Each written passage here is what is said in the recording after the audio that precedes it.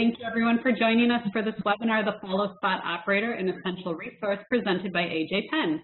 My name is Laura Lawrence and I'm the Global Marketing Director at Harman.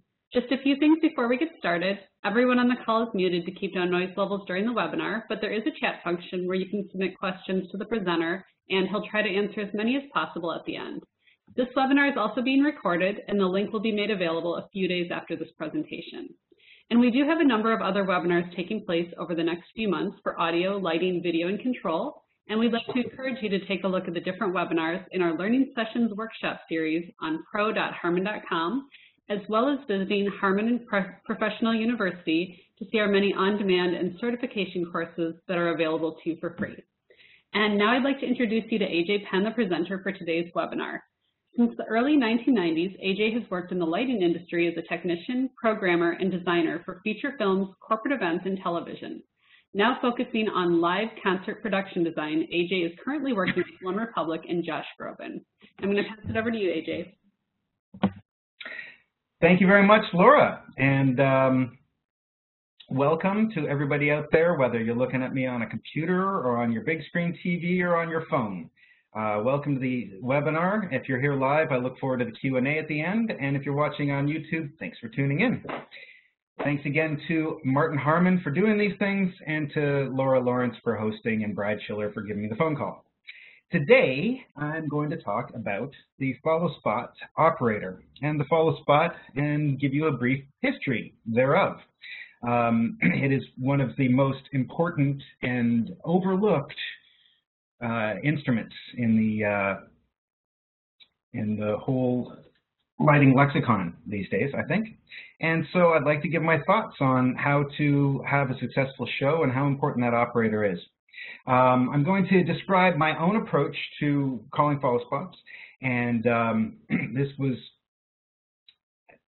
I'm saying the way that I do things, and I called a couple of friends to sort of corroborate and see that we're speaking very similar languages. Um, I learned from uh, a few of the best in the business, and uh, I managed to get uh, Ben Richards and Butch Allen on the phone to uh, share their thoughts with me a bit, and it was great. They pointed out a couple things I might not think of, and uh, they reinforced some of the ideas that I've been using for 20 years. Um, I'm going to give you an outline of how we brief for the follow spot show, how you get it ready basically, and I'll perform a few sample follow spot calls. There's also a big difference when you start uh, touring internationally and to, there's a difference between North America and the EU, or EU uh, for follow spot operators. We're going to talk about that. And finally, we'll finish with a discussion of the future of follow spotting, which uh, technology is really changing. So what is a follow spot?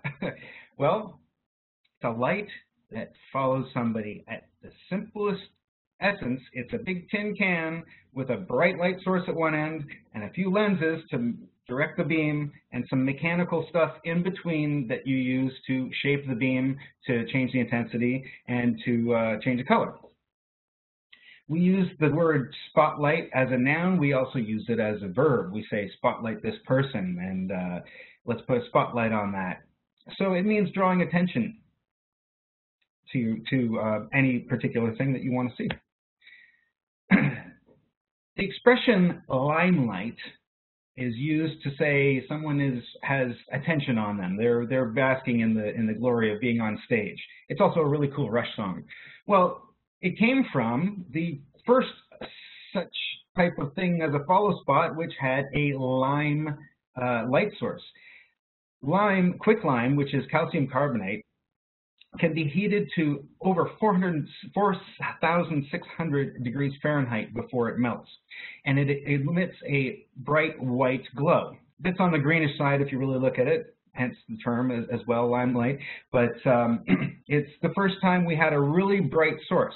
Unfortunately, it was difficult to handle. You had to heat it with a burner, so you had to have a set of uh, taps. You were basically controlling a welding torch.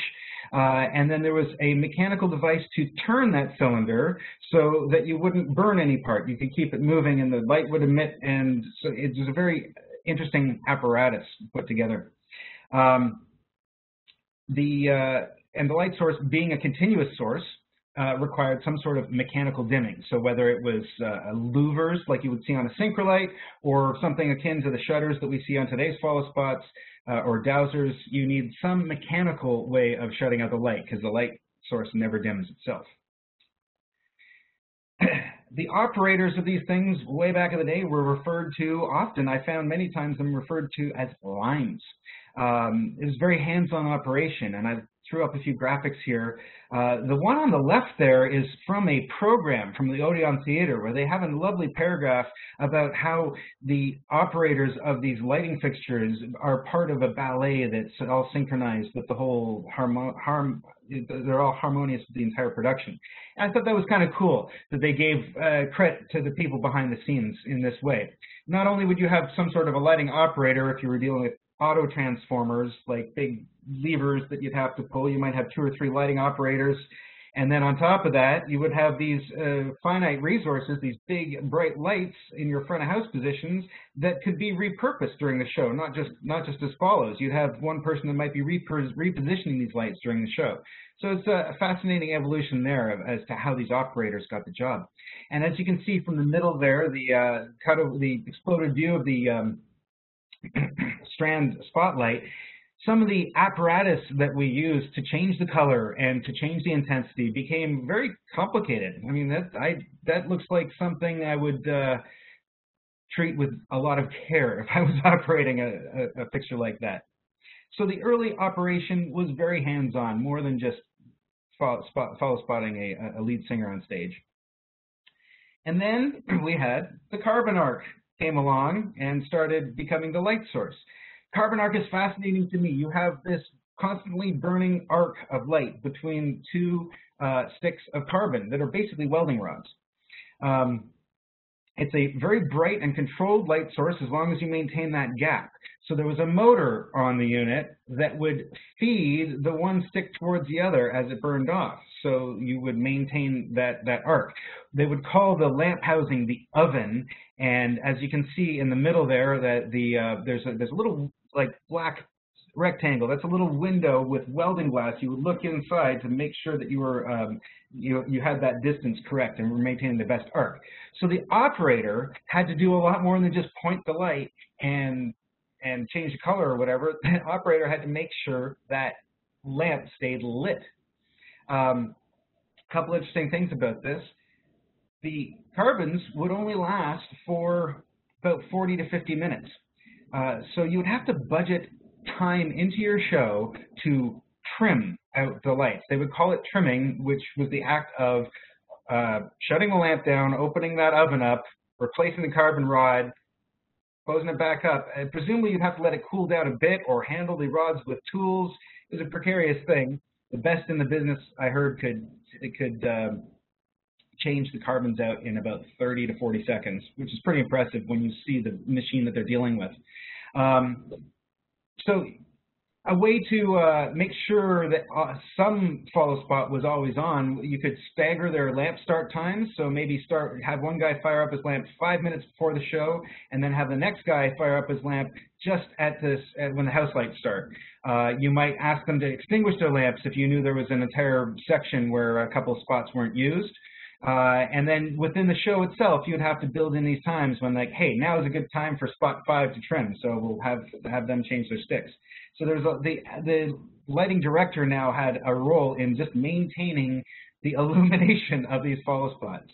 Uh, my favorite story about this, I was doing a show at the National Arts Center in Ottawa, and we had this old operator, this really experienced guy, um, who he, he made a couple of mistakes during the show. I didn't really say anything, and then he came and apologized afterwards. And, and I, I said, oh, don't worry about it. I forgot about it. He's like, yeah, you know, I was manually feeding that thing. I didn't understand what this really meant at the time until my friend explained to me, yeah, the motor had broken down on that carbon feed uh, mechanism. So he was turning a knob throughout the entire show just to maintain that arc. At the same time, he was listening to me fade in, fade out, bump to black, and change color. So uh, that was quite an impressive feat, and I gained a lot of respect for the follow spot operator on, on that day. From car carbons, well, we needed a bright source, and changing out carbons was getting really boring. I mean, we were there. I, I used uh, carbon arc follow spot in 2006. These things are still hanging around. But the xenon lamp made it so that now we had a self-contained, replaceable lamp. And it went in the same place in that follow spot that the carbon apparatus went, and now you had the Super Trooper, one of the more ubiquitous uh, fixtures out there. Um, these lamps are under high pressure xenon gas that the, uh, the, the, electrodes that are creating the arc of electricity, uh, they don't burn down as quickly. There's a regenerative process between the inert gas and the, the, the coating on inside the bulb. It's a technical um, chemical process I don't really want to get too much into, other than to say when these things explode, they don't go poof like a uh, light bulb, an old-fashioned tungsten light bulb, they explode and shards go everywhere. And I have experience with that too. So when you change these bulbs out, the operators, they need to wear thick gloves and a face shield, um, which they'll be wearing all the time now because of coronavirus. Uh, and uh, these lamps are, it's kind of a, a, dangerous but wonderfully versatile light source for the, uh, for, for the follow spot. So that led to the ubiquitous Super Trooper, first carbons, then xenons, so popular that ABBA wrote a song and named an entire album after the word, after the title Super Trooper. Um, the second most common spots you see out there are lycians, and some of them are the same size, the lycian 2500s and stuff. But you see carbon, you see, uh, excuse me, strong super troopers are the, just the, the, the most across North America anyway. Um, the basic design has been unchanged for decades. There's a Super Trooper and a Super Trooper 2. There's not a lot of differences between them. Uh, they operate very similarly to the to the follow spot operator. Uh, and this general control control structure with um, three knobs on the top, three levers on the top, and a color changer in the front was generally adopted by other manufacturers as well. Uh, the color changer boomerang on the front is a mechanism where if you've ever operated it, you'll notice that you can drop one lever and it stays in. And then if you select a different lever and drop that in, it cancels the other one. It, they all have a little notch that catch and hold it until you press the next one, which releases all of them. You can have put three frames in and latch them in, and then cancel all three of them with, with uh, change to one frame. Uh, mo uh, most color changers have some system like this. Not all of them self-cancel, but uh, this design is just fantastic. To the point that we would actually tour with uh, your colors pre-mounted in Super Trooper frames. So you could go to a local venue and just hand them a set of frames and a headset and a belt pack. They take that up to the spots and they would just insert it into their color changers and you call the frames by number so they don't have to know which color is which and uh, that it made the, the um, setup for the follow spot operators a lot easier to have the touring production provide the metal frames, which would come back to them at the end of the night. Um, the um, yeah, so besides the ubiquitous Super Trooper, one very popular spot that is very dear to my heart is the humble Altman Q1000 alt spot. Um, these are the most common spots that I've found around North America exploring attics of old theaters and stuff like that, as well as high schools. And I, my first experience with any follow spot was this guy. We would rent one of these for our big uh, theatrical production uh, at the school I went to, and my first show was West Side Story. I got to run a follow spot. Um, it was a incandescent bulb so there was literally our our unit had, and you can see it in the image on the right there. There's a light switch that you would just click on and off. You could get a wonderful fade out by just clicking off the light switch, and the light would just glow out. Although you can control speed, it worked pretty well. Uh, on the left-hand side of the screen, you'll see the Altman color changer arrangement. This was a lot simpler than a boomerang. Same principle with levers, except these ones didn't cancel. So if you wanted to put a new one in and take the other one out, you had to do both operations with your fingers. You'll notice that one of the handles is black, and that black one was just a piece of metal. That was your dowser. So I talked about the mechanical dimming. You could mechanically dim this incandescent source. Uh, that way you wouldn't have any color shift as it as it glowed out, but there was no dimmer on it anyway. So you, if you wanted to have less than 100% intensity, you'd either have to put uh, some neutral density in one of those color frames or use the dowser effectively to dim it out. The controls were very intuitive. You see the, hand, the, the rod sticking out the back there. That plunger moved in and out to zoom the fixture and, and achieve the proper edge. And then uh, those there's two more knobs there under your hand. You could turn it. The outer ring was the, the chopper gate, so you could top off, you could cut off the top and bottom of your, your light uh, beam. And then the smaller inner handle was actually an iris. So you could change your iris without moving your hand as you were holding the back of the spot. Very intuitive operation. My first big gig on a big rock show was with my very favorite truss spot, which is the, uh, the excuse me, the Lycian Starklite 1. Not the Starklite 2. The Starklite 1 had the controls in all the right places to be mounted on the truss you would have your the uh, the back handle rotated, and that was your dowser. So you could have one hand that was moving the light and doing the dimming at the same time that you had your hand over on the color changer, which you can see is mounted not way in the front of the unit, but right next to the operator's head, assuming that they're mounted sitting right next to it on the truss. Uh, the large handle protruding out the side there is the actual zoom. There was no iris. It was a, a uh, uh, optical beam size. So as you iris down, the light would inherently get brighter. Um, so you had a lot of control over this fixture in a, in a very small package. My first gig uh, as a follow spot operator in a big show was uh, actually Don Henley. and I'll never forget it. The LD, who was Steve Cohen at the time, wrote down all our names. I'll talk to you about that later when I talk about spot calling. But this guy wrote down our names, so I was called AJ all night. I didn't have to remember if I was spot two or seven. And I was dead center right above Don on him all night. It was a pretty exciting time. It was back in the days I worked in a non-union house, and uh, when they said, AJ, you've run a truss spot before, haven't you? I just said, well, hmm, I've run a spot, and I climbed a truss once, so yeah, yeah, I've run a truss spot. You can't always get away with that kind of thing nowadays, but uh, back in the day, opportunity knocks and you answer the door. So I fell in love with follow spots right at the beginning of my lighting career.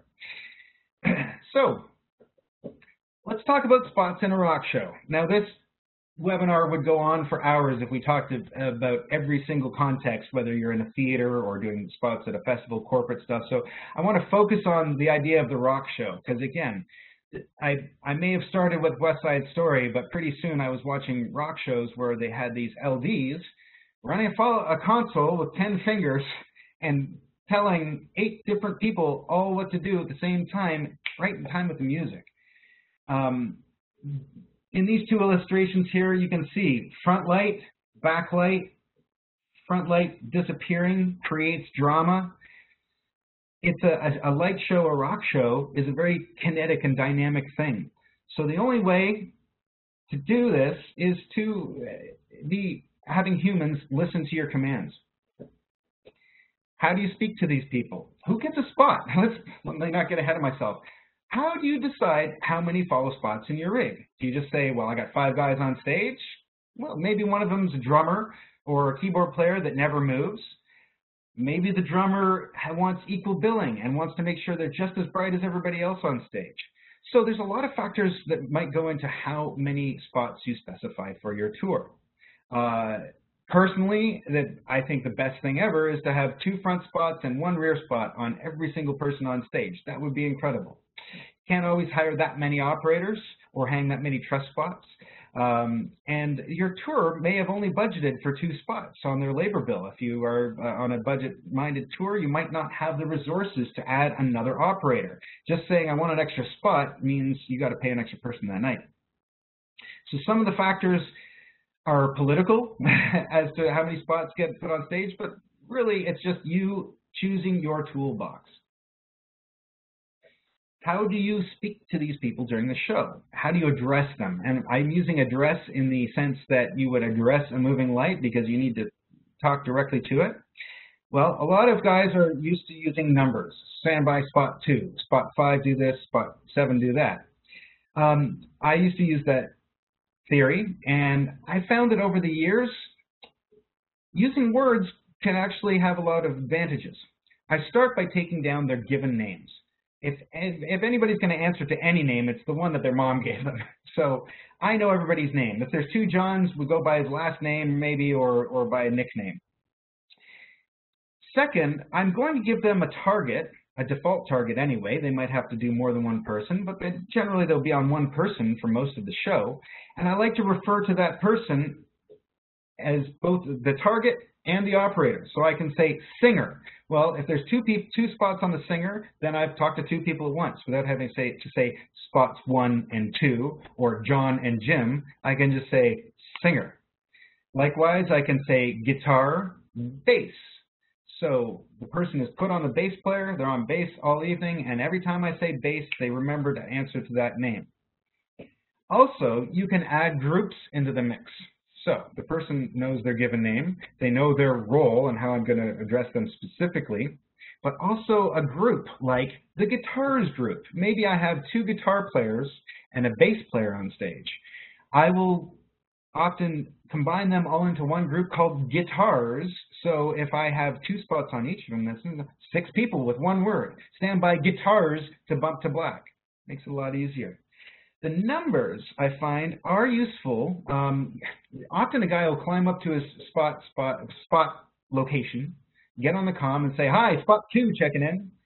And I'm like, well, you know, I would number the lights maybe differently than you have labeled them in this venue, so your spot two doesn't mean anything. I'm going to call you by your name or by the group or whatever, but those numbers can be useful to the techs or other people in the building if they're if they're having trouble and they're trying to get their steward on the intercom or uh, the master electrician or other crew member at Dimmer Beach needs to speak to a follow spot about a com problem they, they're having, their, their neighbor might be having.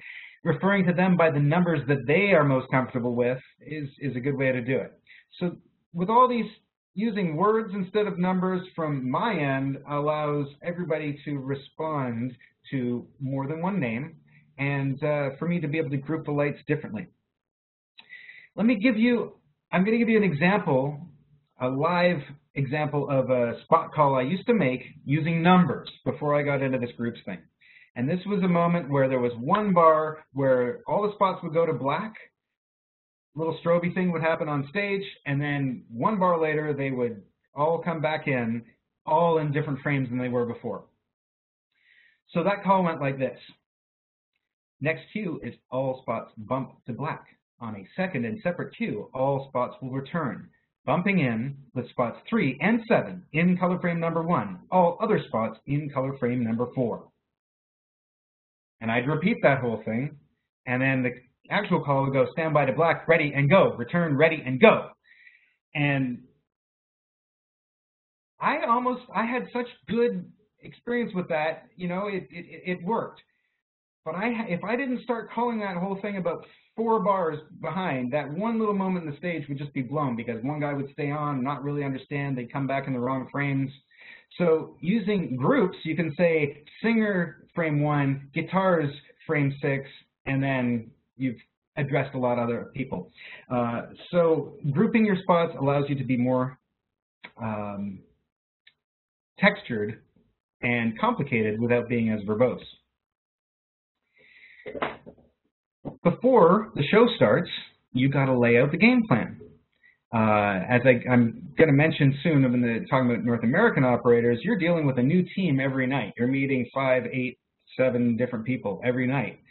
So there's a, a briefing that has to happen. And there is some discussion as to whether this briefing should happen in person or just over the com. Sometimes you'll have um, a tour will have the master electrician or the lighting crew chief brief the follow spots, and then that's backed up when the lighting when the uh, LD gets on com. So they never meet the LD face to face; they only hear a professional voice at the other end of the com. I see merit in these different approaches. Uh, I have been on tours, though, where I felt it better to gather everybody at a meeting just after dinner, before doors, or just before the show, and uh, do something like this uh, little stick figure drawing that I that I have on the stage here. I found that that engaged people, and they I get their attention because they start scratching their heads. What's this guy doing, writing these these little stick figures out and stuff like that. Well, here I would I had a chance to map out, and I might come with the uh, spot positions of those boxes already drawn and then fill them in and say, hey, what's your name? And what's your name? Okay, you're going to respond to the word singer. And they could see this visually, and it's happening in a nice semi-formal way. You know, it's formal enough that we're having a meeting, but I'm drawing little stick figures and just trying to get the, the, the, the mood to change so that I'm getting them on my side. Um, I might, uh, in this meeting, also warn of very specific moments during the show. You might have a show where you require a very tight headshot. You pretty much want to warn the person who has to do that headshot well before it's happening in the show. And hopefully they will be able to uh, remember back to that meeting in the split second of the show. It gives them a fighting chance.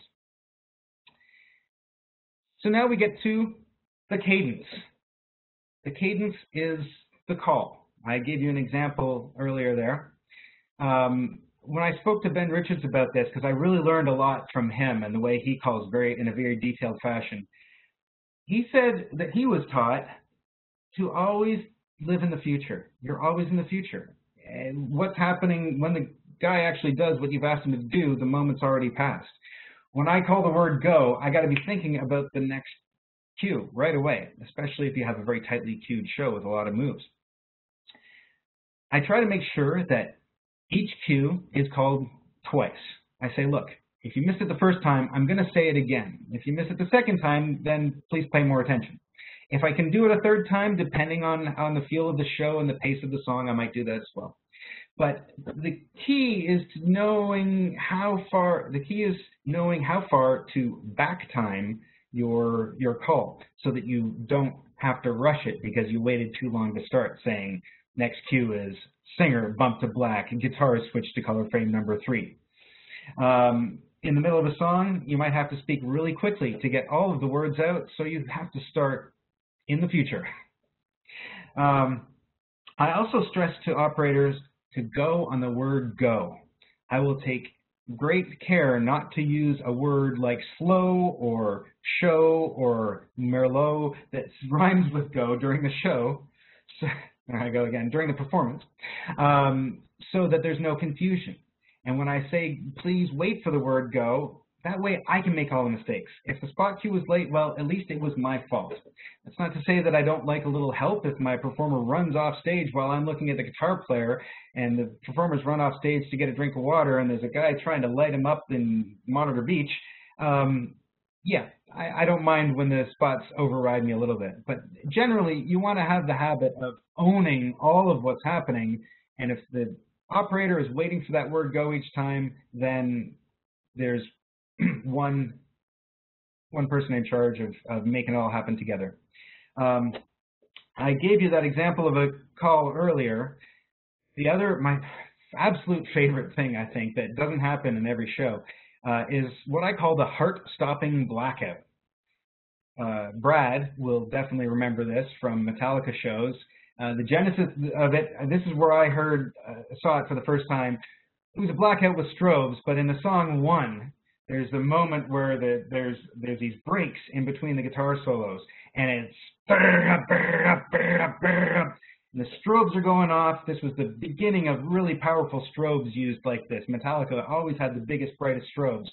And the LD would have to call all the spots to black, all the spots return, over and over and over again through a very fast-paced section of the song. And each time your heart just stops, and then all the lights would come back in. And sometimes I would see uh, Butch or John Broderick call the spots a little bit early before they hit the button on the console, so all the guys would illuminate before the rest of the look would come in. Uh, this always works, and if there's a place in your show where the song goes along and there's some silence or something like this, it's great to have that heart-stopping blackout. Um, operators in North America. I wanted to talk about the differences around the planet a little bit. Uh, you have a new team, as I mentioned, at every venue. You have to treat them with respect. You have to get them on your side. They are not necessarily invested in your show. They're invested, hopefully, in being a professional follow spot operator, which means having some experience, knowledge of how the light works, and a willingness to pay attention for an hour in a row and listen to me. I, in turn, want to give them the most clean and concise spot call that I can. If one of us has a bad night, the advantage of this paradigm is the fact that I'll get a whole new team on the next on the next go. Um, but uh, I think the advantage of this is it gives the locals a chance to participate in the show in more than just a moving boxes from A to B way, like being part of the actual run of the show. I think that's a really important relationship that I, that's important to maintain with the local venues. Um, yeah, in direct contrast to this, we have the European model. Generally, your truck and bus drivers become your follow spot operators. So you might have four follow spot positions and seven drivers on the tour. They'll rotate in and out of these positions uh, from night to night. Uh, you might have one guy that's going to deal with uh, who's going to be on your spots and wrangling all the, they get paid extra to do this. Um, so you become, the, the, the, team, the touring team gels in this way. Uh, you certainly can't uh, let the heat of the moment allow you to be uh, overly terse or, or even or slightly rude in the moment because you're going to have to deal with this person on the tour. You'll see them in catering, and they might be uh, driving your bus that keeps you alive to the next venue. Uh, not that it's pleasant to be, not that it's okay to be rude ever. I'm just saying sometimes you can be a little bit forceful in the heat of the moment. Especially me, I'm a, I, maintaining calm is um, important in the job, and it's one of my biggest challenges because I'm a pretty on-the-go kind of guy, and I like to be enthusiastic and passionate. And sometimes that leads to um, words that come out a little bit wrong. I'm always quick to apologize whether I'm in the EU or North America because I need them for the whole show. On the EU, you need them for the whole tour. The disadvantage of using these guys, unfortunately, is it can lead to complacency, both from them and you. You know, they think they know the show and then something slightly different happens and they're just not ready for it. Or they start taking their own cues and because they're so good at it, you as the LD might stop calling the cues because you just know it's going to happen. And then for some reason, there's a different guy on that spot the next night who hasn't run that position before. They don't know the show as well. All of a sudden, you, forgot to got to keep calling the show. So uh, it can lead to complacency, but it's, it's part of a really fun European tour. And then operators around the world. Um, in the EU, you might have uh, uh, big festivals. Uh, they, there was one tour where we were in the EU, but we only had two trucks. We were uh, uh, just doing basically, we had two separate backline setups, and that fit into two trucks and a bit of set no lighting package, uh, and no tour buses because we were flying to, between most gigs. So we only had two drivers on the call. Generally, the festivals would have operators for us to use, but sometimes on that tour, we would have a locally provided show, a one-off that I might have described in the last couple of webinars, um, where um, you would be doing your own show, and I might get my full complement of eight spots on this particular tour. Now, these operators, not only because truckers would, would generally run the follow spots for these tours, these operators generally didn't have any experience running a rock show, and moreover, they didn't really understand that role in the show. They might be running a follow spot at a corporate event where they're just called on every once in a while, or um, in different circumstances that aren't so time sensitive and aren't so much of a performance. So uh, I found that I would have to uh, manage my expectations, and maybe simplify some of the calls. Sacrifice one really awesome lighting thing for one that's almost as good but easier to accomplish so you know you're going to pull it off each day with different people. Um, when you go outside of EU and not everybody learns English as a second language, like when you're uh, in Asia and other far-flung parts of the world, you start to run up against uh, language barriers. Very enthusiastic people all the time, definitely. Uh, but you'll find yourself talking through a translator. So you might have to, uh, you will have to modify your spot calling and call the cues maybe a bit earlier. As long as, though, the translator is going to let them know that the word go means what it means. Um, I find if you narrow the vocabulary, like I was talking about earlier, if you define during your spot meeting exactly what you mean by a fade in or a fade out, exactly how big you want the iris and all that, you do that with the interpreter during the spot meeting, they'll start to come to understand your narrow vocabulary, what a fade, bump to black, the very few basic commands will get them through the show, whether they speak English at all or not. Uh, when it comes down to writing, writing their names on a map, in the one place where I've just found it hilarious is in Thailand. I will always have operators when I say, okay, what's your name? They'll give me a North American name. It'll be Steve or Jim or, or, or Bobby. And I was like, listen, were you born, like, were you born here? Is your name really Bobby? And they say, no, my name is, and then they pronounce Thai word that I could not wrap my tongue around. Uh, I'm better with European languages. I try a little Japanese, but there's something about the Thai language. I can never get my lips around those syllables. So that person was then Bobby again, and I would understand why they would come forward with easy to pronounce names for us English-speaking North Americans. So that's a, an interesting, you go around the world and the task is the same, but it's going to be run by very different people with different skill sets and experiences. So having talked about all of these aspects of running a follow spot where it's a light that the operator is generally 100% in control of. Now we got to talk about the automated solutions.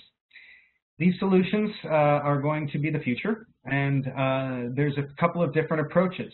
They have varying degrees of success, but all of them, I would say, are getting very good. And when I mention the history in a few moments, you'll understand what I mean. Because this technology has been around for a long time, but there's been a lot of different ways to skin a cat. Uh, there's two basic approaches.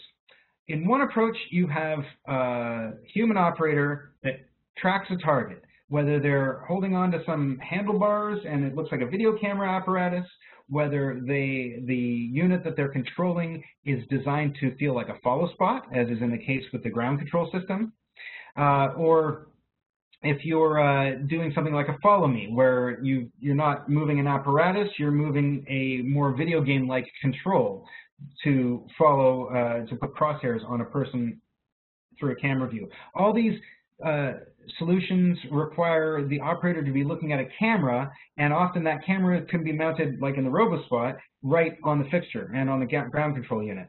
You could also use a separate pan-tilt camera in certain systems. Uh, and that XYZ positioning can be made available to several fixtures. Um, so there, that, that's one approach.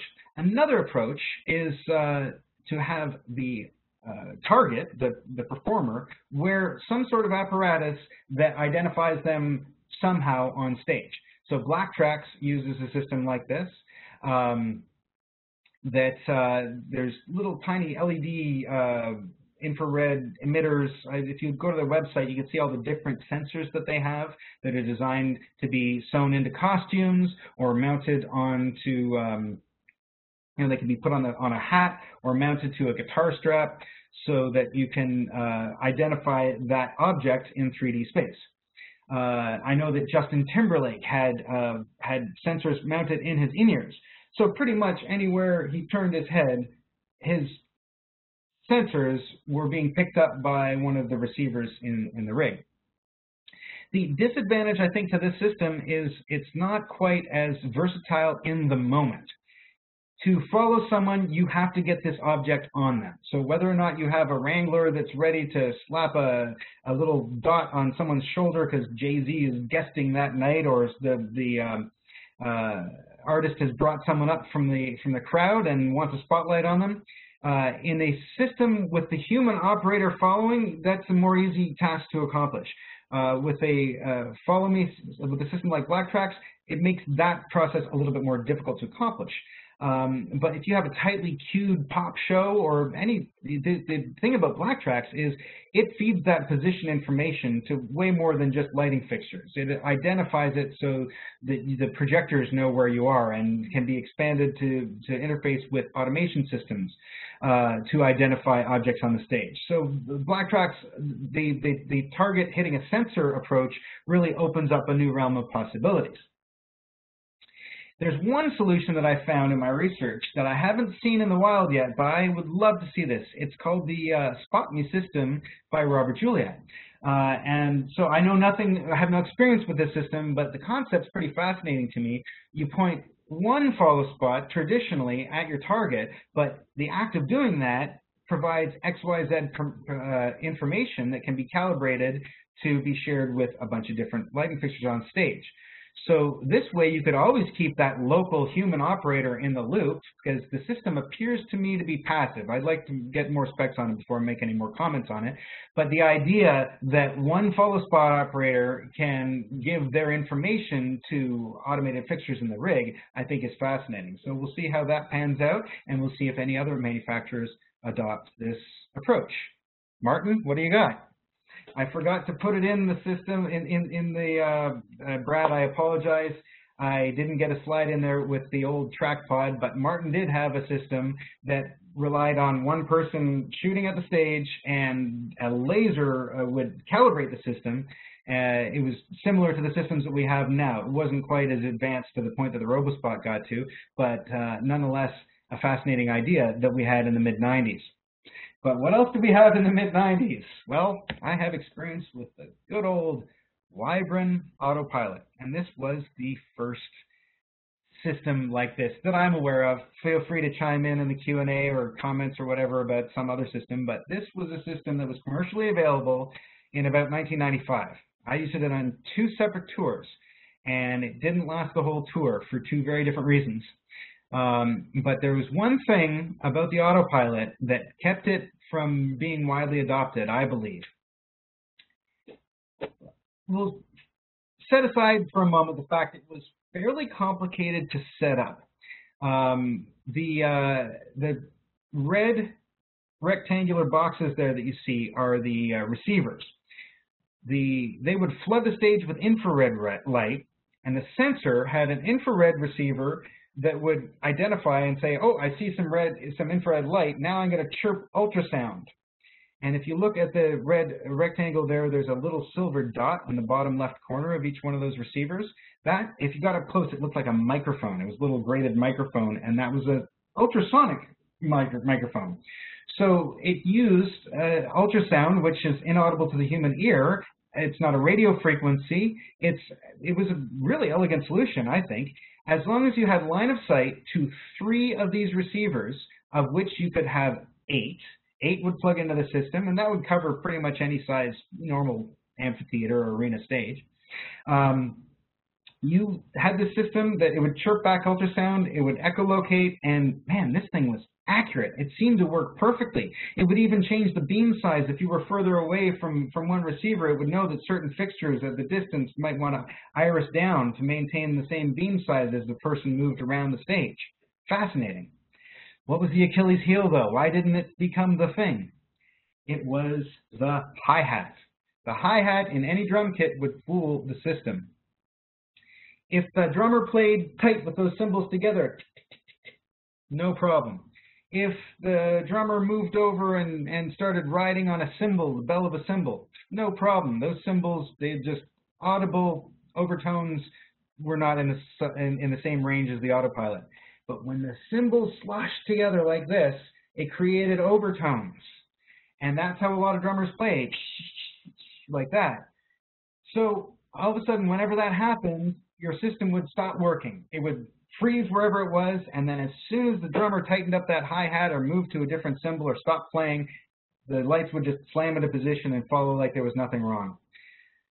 I remember hearing about different tours that used this, and they would try plexiglass all around the hi-hat in different locations and moving the drummer further up stage and all these kinds of things, but it just never worked 100% of the time.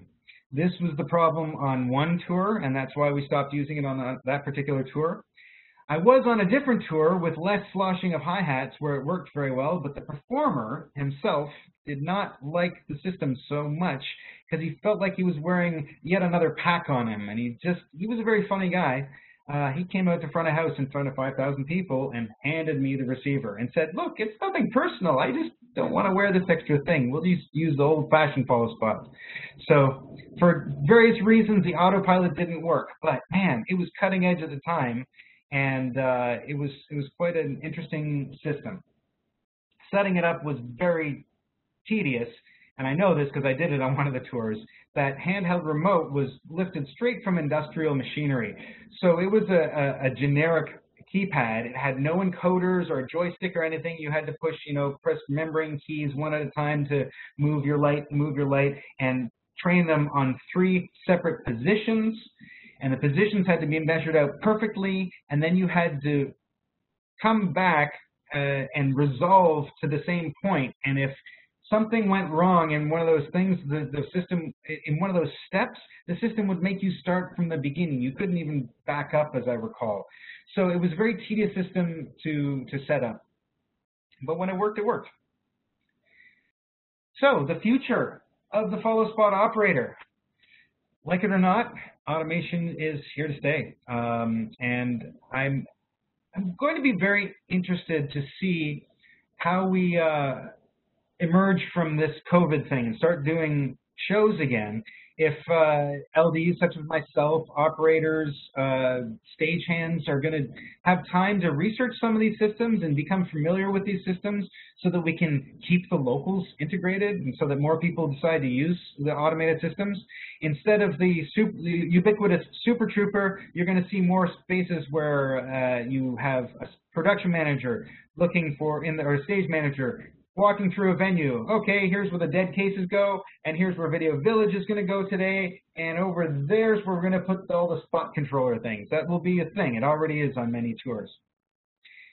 Having said that, I was speaking with my friend Jeff Farrow, who uh, is the house LD at uh, Fallsview Casino in Niagara Falls, Ontario. Uh, they just built a brand new uh, venue that had yet to open before COVID, so they're just itching to get into the space, and they bought eight brand new Robert Juliat follow spots. They, just, they did a cost-benefit analysis on trying to get RoboSpots and all this, and they just made the decision that it was cost prohibitive. It was better just to buy follow spots and hire guys to run them. So uh, I think that's uh, an interesting step, and hopefully um, it'll pan out for them. Regardless, I think you know moving a follow spot around is is hard. Follow spots deserve a lot of respect, and I understand their pain. I've run front of house follow spots and truss spots, and I've gone up into the spot locations in arenas and amphitheaters all over North America, all over the world, in fact, just because I love these lights so much. I went through a phase where I would go up and physic and personally tune each follow spot, check them out, make sure they worked, and then tell the steward, hey, maybe we can get a new lamp in this one, or this one needs some service. Um, so I play with these lights, and I know what I'm asking for. It's it's it's easy to move back and forth, but a big object like a Super Trooper, to tilt it up is not always the easiest thing. And to create a fluid head like you have on a uh, on a video camera, even a long lens video camera is not that heavy. I can lift it up myself you need help to lift a, a Super Trooper. There's a lot of inertia there. And I've always wondered why the, the stands aren't kind of better and more fluid. And I realized the engineering and the expense that would have to go into that would probably triple the cost of the follow spot because it's a large, heavy beast.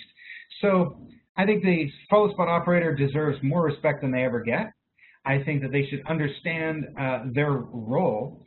I've always said during my spot meetings, every night, I will say, look, if I have four follow spots and the PA is still on, we could lose power to the whole lighting rig, and there's still a show going on.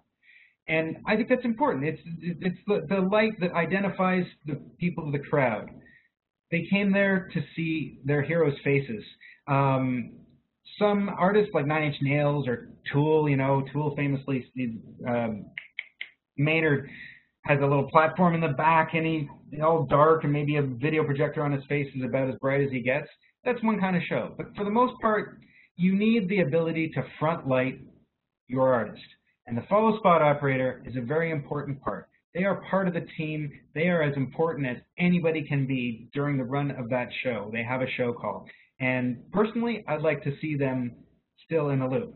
Now, with the new systems, though, the skill set might change from handling a large follow spot to more gamer-based. Uh, uh, I can see with the follow me approach, more kids that are used to first-person shooters uh, having a better time using thumbsticks instead of a crazy apparatus. And I know from trying to play Call of Duty with my kids that uh, they definitely develop these skills from an early age. So maybe the younger generation will uh, have the skill set that it takes to run the follow spots of the future.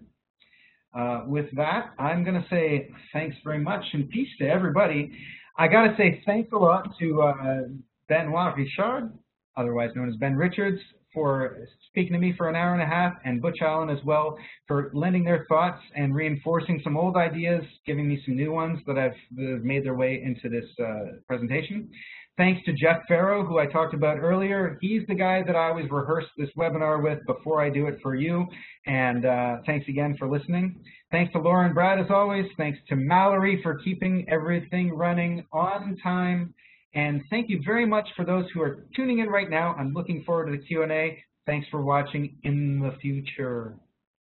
And with that, Laura, open up the floor, Thank you, AJ. Um, we do have some questions. So the first one is asking, do you find it helpful for ops to answer standbys, or do you take it for granted they are ready? Do you ever want to hear from them?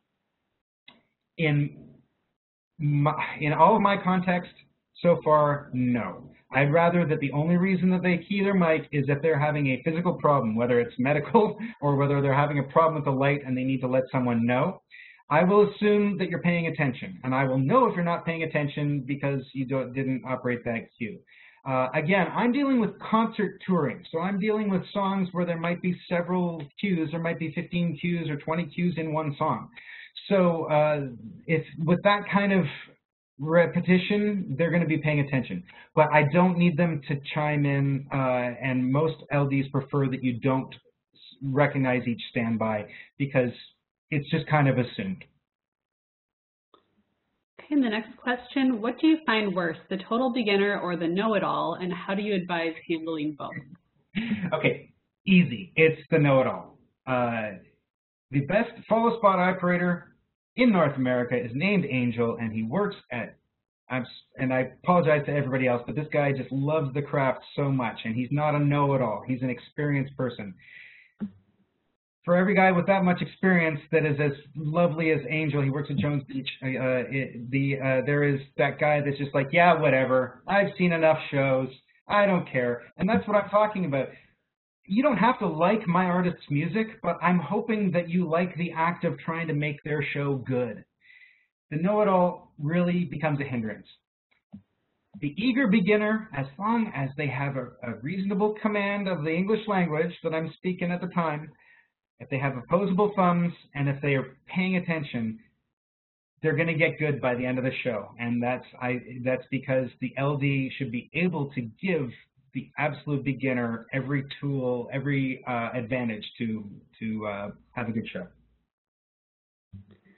Okay, next question. As an LD, do you consider using an automated tracking system a risk for the show, seeing that the responsibility often comes down to the LD? Uh, yes, yes. Uh, I would say that for sure. Um, I used uh, RoboSpot in multi-fixture mode recently, uh, last summer, and uh, it was it was a good chance to try it out because my artist had a fairly he just walked the Marley. He didn't go upstage more than once during the show, um, and uh, I only had one position, so we had one system controlling four lights. So I had total control, both in the cue list and also as additives and inhibitives, where I could balance that, that uh, the, the front and back light level uh, differently if I had to. Uh, it was just pure joy to press the button and see that guy illuminate because I knew that my man, little G, Greg Kukurik, was following him all night long. Risk definitely. I, I, I felt the pressure. I'm like, well, now I don't have, you know, uh, I mean, at the end of the day, as the LD, you're owning the follow spot show anyway. Especially if they go on the word go, then I'm the person making all the mistakes. Uh, but yeah, there there is a risk that you take on too much. But there's the same risk. I mean, when you time code a show, your show is going to suffer if the time code signal gets lost for a moment. uh, there's, there's always a trade-off when you trust anything to technology.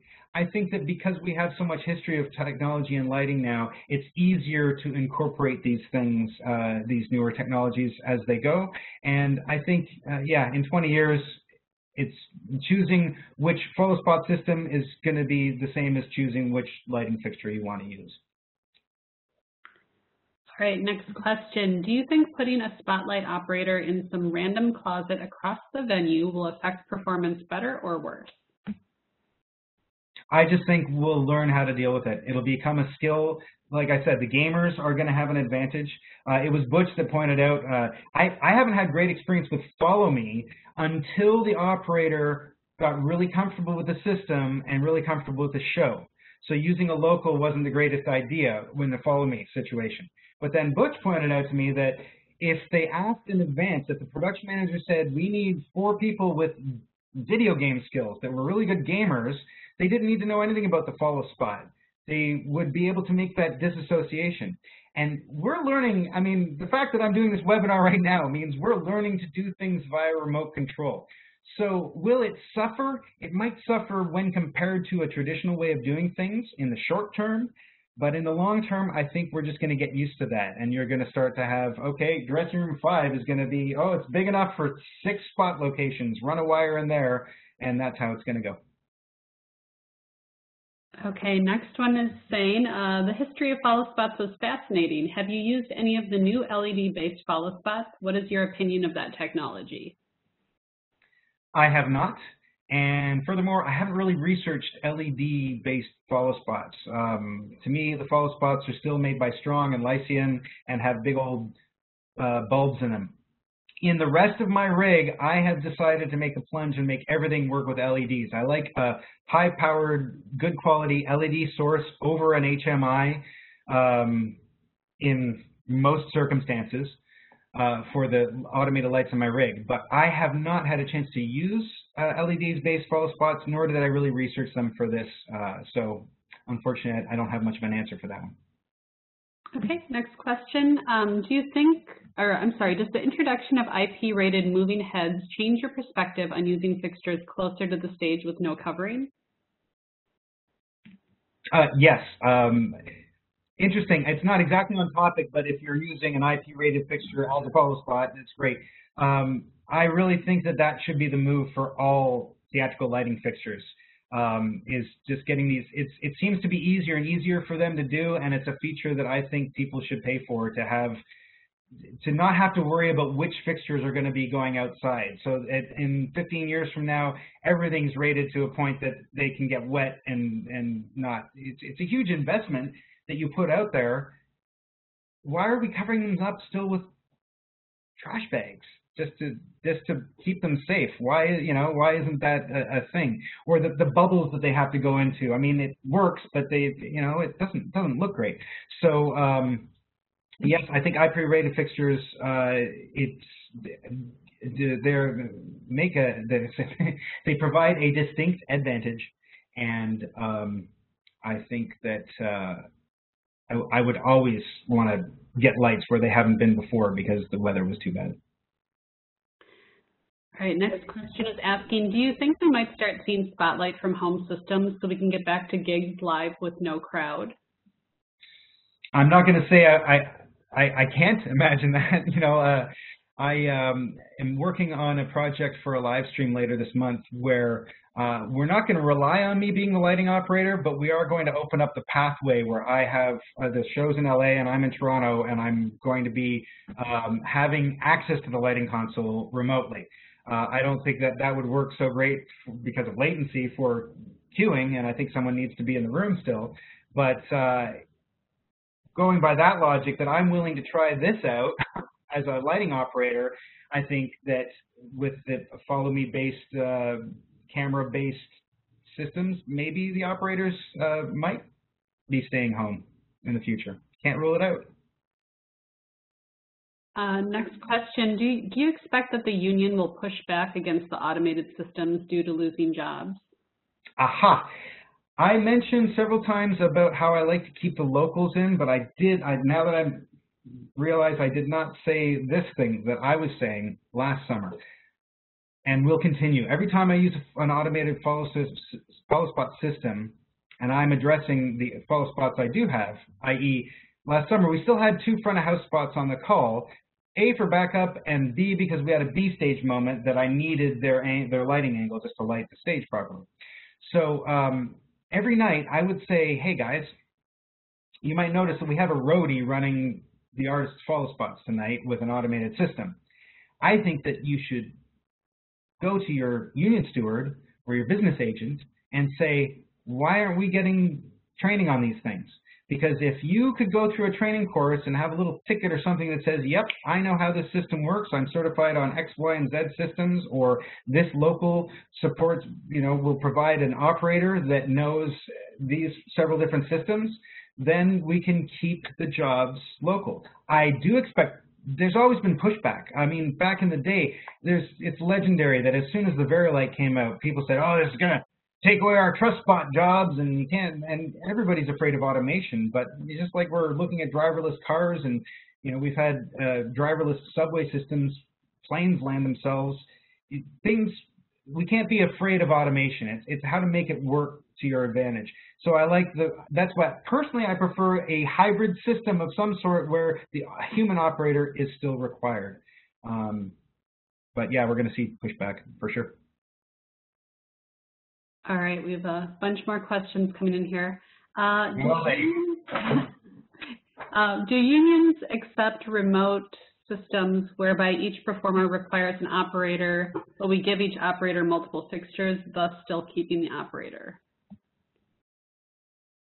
Um, okay, uh, I'm uh, I'm parsing that question because it kind of asks a couple of different things there. Um, I I can't speak for the unions.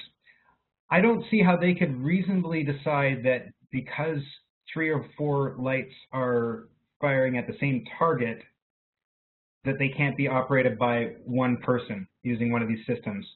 I it it just uh, artistically, I can't imagine that four separate people on four separate automated systems are going to be able to keep that looking anything nice and tight unless you want a loose system. It's hard enough for two people that are pointing their lights uh, at the same person to keep from figuring out who they're, you know, if they're really on the, the right target.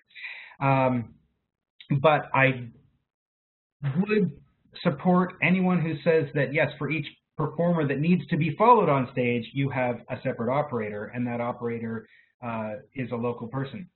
Uh, just speaking further on the on the local thing, the only local in uh, I, I, on in in North America that insisted on their own operator was Chicago uh, when we were using a follow me system.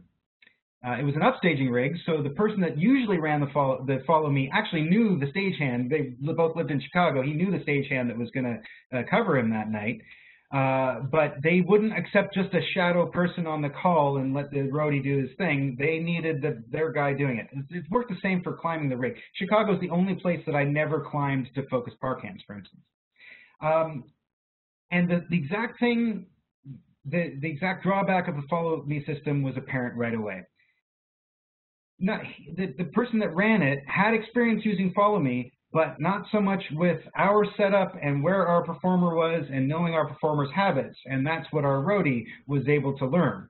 Uh, I think that with the, the gaining skills and, and, and tapping people, training people in different ways will uh, eventually make that follow me system a bit better in that regard. But that time and every time that I've had an operator that was using the system for the first or second time and had never seen my show trying to run follow me, they had a lot of trouble sticking with the target. So I, I think that it's a system that requires practice. I think I got off the question there. I hope I answered the person's question in some way. Okay, the next question is, what color temperature do you balance your spots to, and what do you base your decision on? Um, it varies.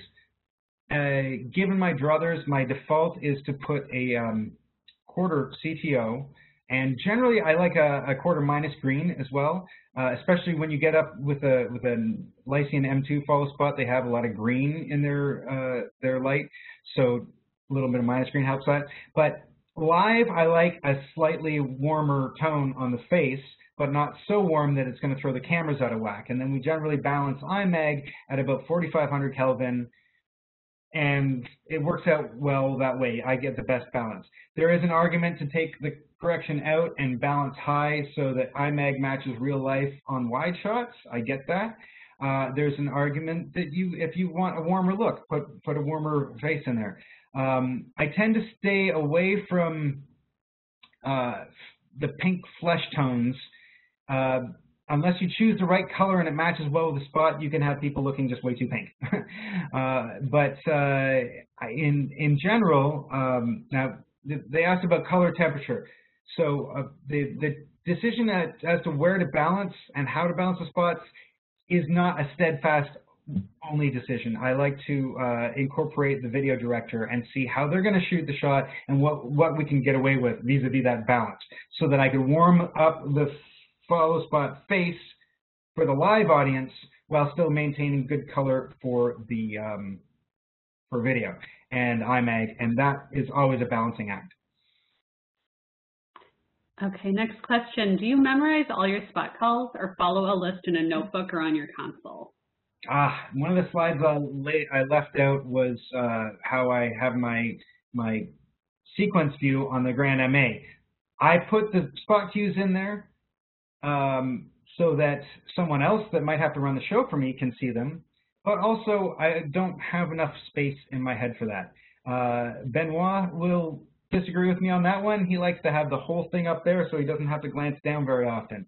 I try to make the font nice and big so I only have to glance down a little bit. And yes, you do, by muscle memory, you get to know the songs uh, the more you do a show. But definitely when I'm learning my own show, when we're starting out and things may have changed, I need a, a, reference, and I put it. I use the console to its advantage. I put the notes right in the um, right in the sequence view, whatever console it is, generally MA2. Um, I have used a notebook in the past. That then a music stand. That it, it, when you're calling a fast-paced rock show and you have two hands on the console, that becomes difficult to do. Uh, not that it hasn't been used by a lot of people. So it takes different ways to skin a cat, but Personally, I can't keep the whole show in there without that security blanket of knowing I can look down and double check my work uh, with the, some sort of list on the screen. Okay, next question. Do you use a system with your headset so you can hear the show and make your spot calls? Some LDs, such as Ben Richards, have a complex setup. I do. I do indeed. And um, yeah, I I purposely that's that can be a whole other discussion that goes to uh, what kind of delay you would put in your ear mix and all and light traveling faster than sound and stuff. That uh, without diving deep, I'm going to touch on that that whole idea.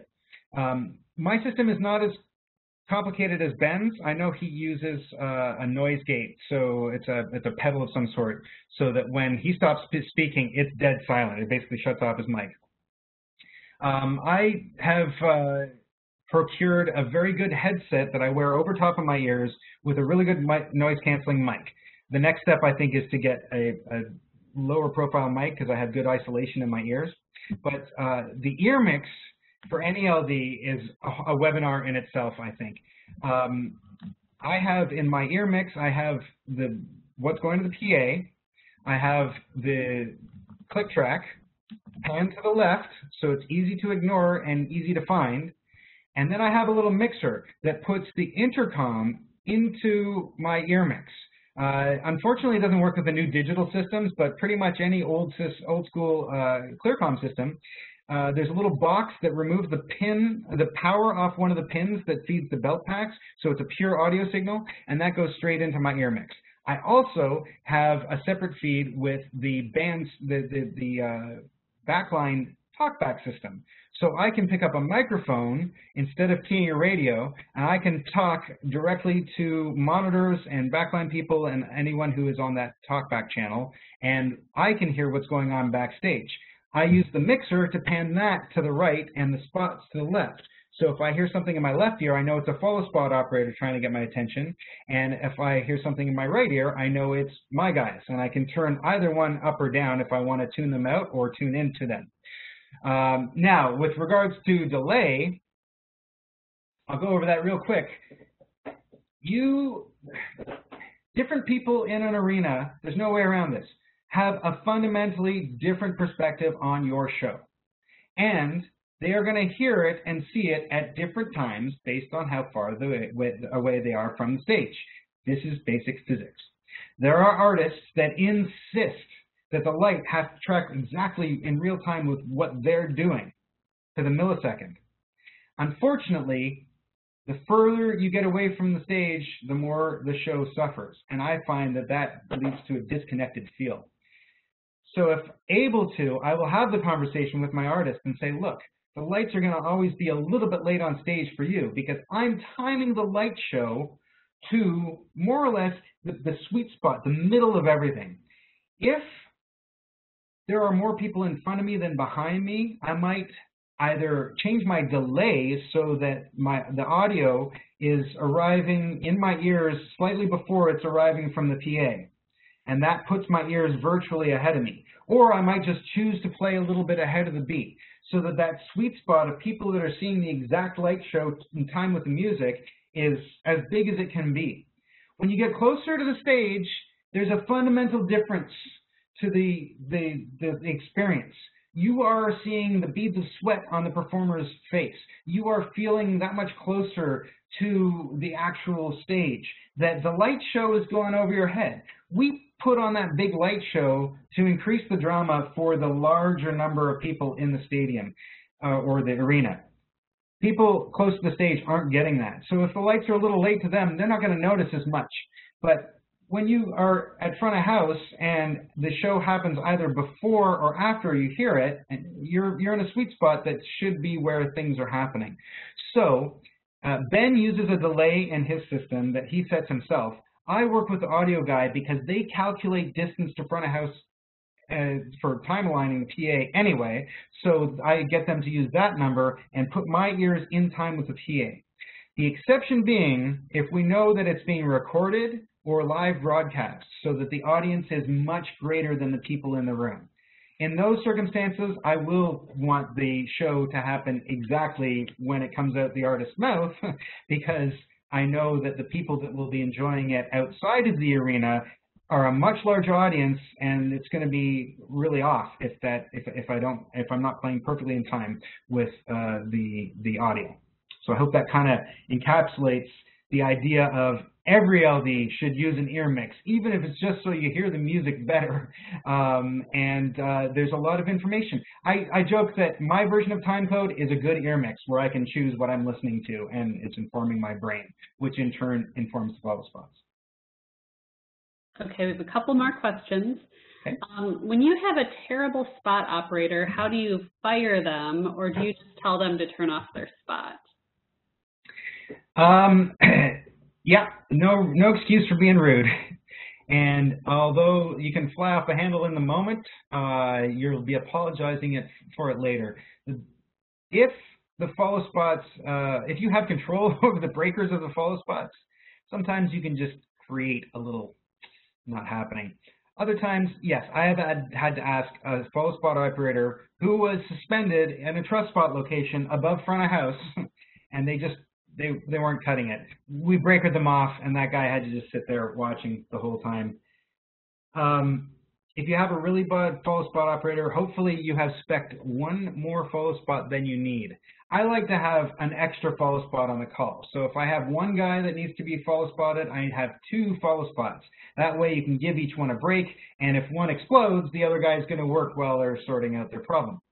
Um, so yeah, the um, if someone's just not cutting it, it's it's best to gently ask them to sit it out if it's come to that.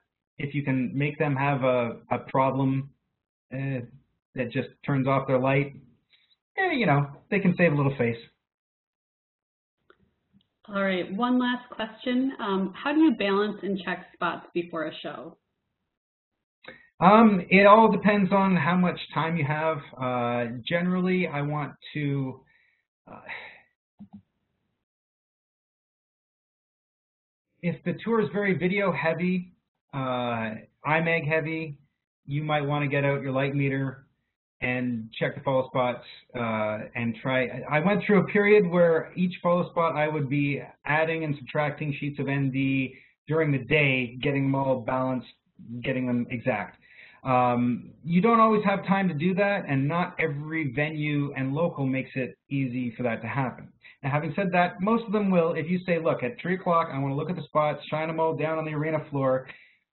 For most shows, if you look and you see one is vastly underpowered, you can have them work on that follow spot. Uh, sometimes you have you can have them detune the brightest spot so that it matches the others because they're all bright enough. But uh, whatever whatever your situation allows you to do, the pace of your day, how busy the load in is, and how responsive the local is, can uh, affect whether or not you get to check and balance them. Uh, if you don't, though, you start the show and you're figuring out what's happening in the first few songs. So going in, advancing that, buying the time in advance is is the way to go. Okay, wonderful. Thank you so much, AJ. It's always a pleasure having you present to us. Um, so we really appreciate your time. And thank you, everyone, for attending. If you have any interest in seeing the calendar for upcoming sessions, you can check that out at pro.harman.com. And um, the recording for this will be released in a few days out on our YouTube channel. So thanks, everyone. Have a great rest of your day. Thanks again, everybody. Thanks, AJ. Bye. Thanks, AJ. Thank you. Thank you, AJ. Good presentation.